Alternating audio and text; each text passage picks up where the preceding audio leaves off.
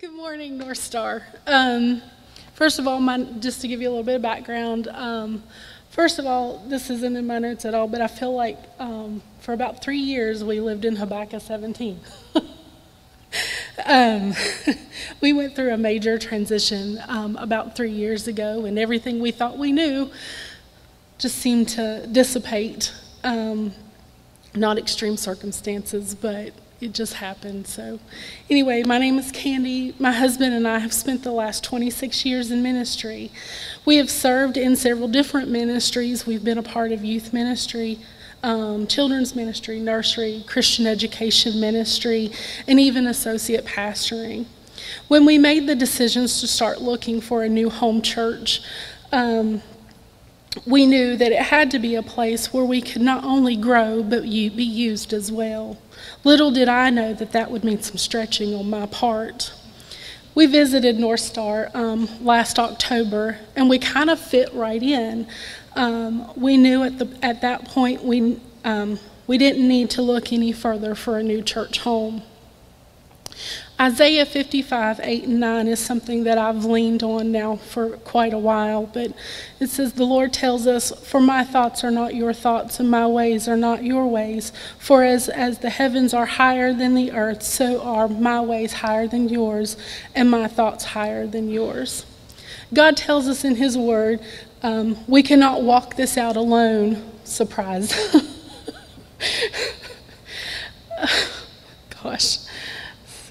See, only by spending time with God can we walk out our days successfully. Once we had decided to make North Star our home, we knew we wanted to get involved. We weren't sure where or how. Um, goodness. Let's see. Then the Seeing God in 2019 challenge was presented. I toyed with the thought that this was something I wanted to do. I knew this was going to be a stretch for me and a pull out of my comfort zone. I hadn't really studied the Bible in this way before, and I decided that this was something I needed to do. I needed to take steps toward, toward, forward to become a better Christian. Before I began the challenge, I didn't realize how lazy I was. I would do what was needed um, to be done in ministry. I planned leadership retreats, um, youth trips, vacation Bible schools. I was great, I hope, at supporting my husband in his ministry positions. But I didn't have a real relationship with Christ, my Creator, the very being that, although He created the universe, still felt it important to give me life. I have been saved and baptized, but how arrogant was I to think that I could serve God but not have a relationship with Him. To think I could walk this road alone was just baffling at that time. In a recent Facebook post, I stated, Feeling stretched in a God way lately, can't help but think I am in a divinely appointed season. I don't know the steps yet, but I am gaining ground every time I study the Word and spend time with God. I have to admit, um, it has been a little intimidating at times, and I've gotten somewhat fearful at what God may reveal to me. Hashtag seeing God in 2019 has been the best decision I've made. Don't get me wrong.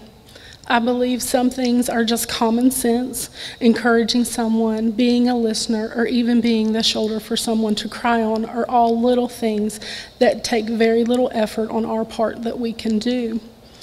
But if we aren't keeping God first in our lives, spending our days in His presence, then we won't see the needs around us.